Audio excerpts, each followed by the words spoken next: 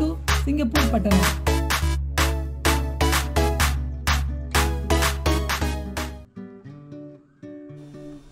Hello friends இன்னைக்கு தக்காளி தோசை எப்படி பண்ணுறதுன்னு பார்க்கலாம். நான் மெஷரிங் கப்புக்கு ரெண்டு கப் இட்லி அரிசி எடுத்துருக்கிறேன். இது கூட கொஞ்சமாக துவரம் பருப்பு சேர்த்துக்கிறேன். இந்த மாதிரி ஒரு கை அளவு சேர்த்துக்கலாம். அதே அளவு கடலைப்பருப்பு சேர்த்துக்கிறேன். கிட்டத்தட்ட ரெண்டு டேபிள் ஸ்பூன் அளவுக்கு இருக்கும். இதை நல்லா அலசிட்டு ஒரு மூணு மணி நேரம் ஊற வச்சுக்கலாம். இப்போ தேவையான அளவு தண்ணி ஊற்றி இது நல்லா ஊறட்டும். இப்போ அந்த ஊற வச்ச அரிசி போட்டுக்கலாம். மிக்சி ஜாரில் போட்டு அரைச்சிக்கிறேன்.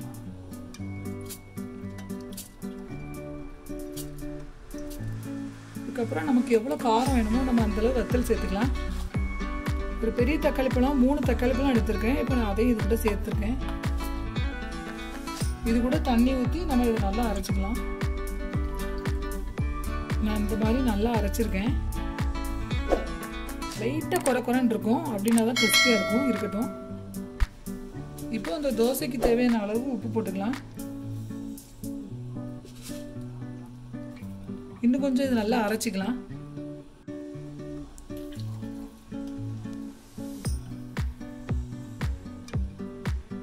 இந்த மாவு வந்து புளிக்கெல்லாம் வைக்க தேவையில்லை. இதில் தாளித்து கொட்டி நம்ம உடனே தோசை செஞ்சுக்கலாம்.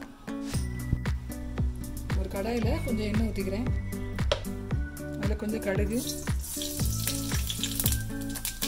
கடுகு நல்லா பொரிய ஆரம்பிச்சிருச்சு. இப்போ நான் அடுப்பை ஆஃப் பண்ணிடுறேன். அதுக்கப்புறம் இதில் கொஞ்சம் பெருங்காயத்தூள் போட்டுக்கிறேன். கருவேப்பிலையும் போட்டுக்கலாம். இந்த தாளிச்சதை அந்த மாவுல ஊற்றிக்கலாம்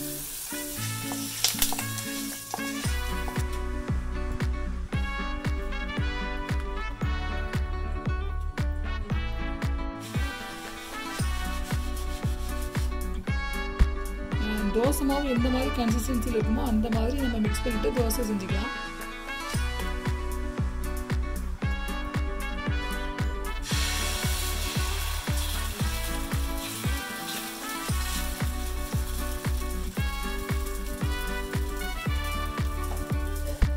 இந்த மாதிரி பிளெயின் தோசையாக சுட்டுக்கலாம் இல்லாட்டி கொஞ்சமாக இல்லை வெங்காயம் கூட போட்டு செஞ்சீங்கன்னா செஞ்சுக்கலாம். அதுக்கப்புறம் இதை சுற்றி நல்லெண்ணெய் ஊற்றிக்கிறேன்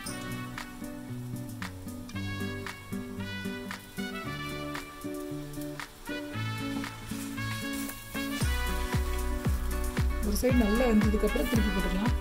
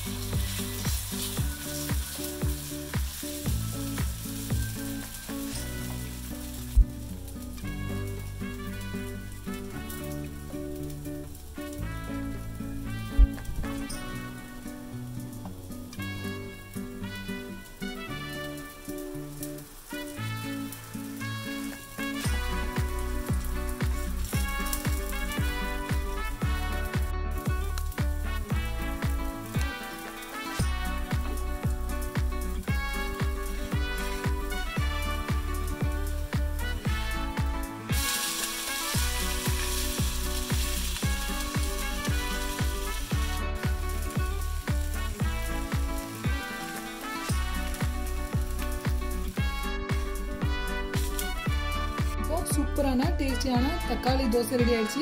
நீங்களும் இந்த ரெசிபியை ட்ரை பண்ணி பாருங்கள் பிடிச்சதுன்னா லைக் பண்ணுங்கள் தேங்க்ஸ் ஃபார் வாட்சிங்